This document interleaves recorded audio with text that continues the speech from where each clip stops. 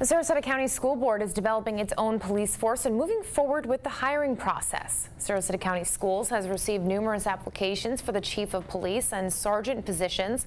The district received 26 applications for the role of chief and 43 for the three police sergeant positions.